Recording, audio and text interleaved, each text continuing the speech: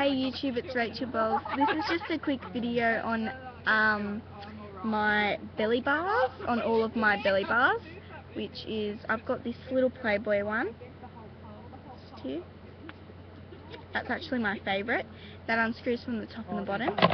And then I've got this one here, which is a little love heart dangly one.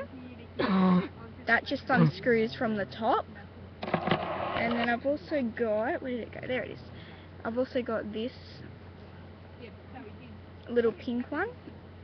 And that unscrews from just the top. And then I've got this one that I've got in at the moment. That one unscrews from the top and the bottom.